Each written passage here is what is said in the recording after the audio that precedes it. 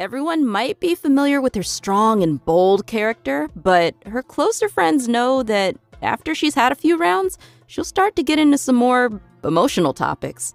In her story quest, Manticora chapter, the Traveler and Dehya work to solve some trouble Dehya's mercenary group is facing.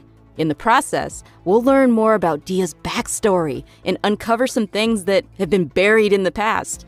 Oh, another familiar face, Dunyarzad, will also be making an appearance in the quest. So, be sure to look forward to that. Oh, heck yeah. Uh, So when will Dehya be available in the game? Good question. Okay, so event wishes for version 3.5. In the early part of the new version, both Dehya and Cyno will be available with their own event wishes. Oh, and uh, as a reminder to our travelers out there, Dehya will not be an event exclusive character. After the version 3.6 update, which to be clear is the one after this upcoming 3.5 update, she will become available in the standard wish.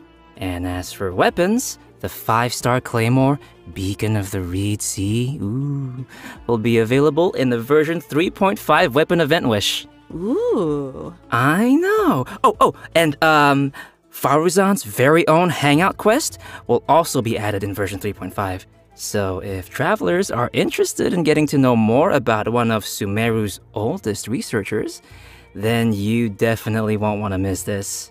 In the Hangout, travelers will not only be able to see more about the differences between the academia's various schools of thought, but you'll also get to know more about Faruzan's personality and background.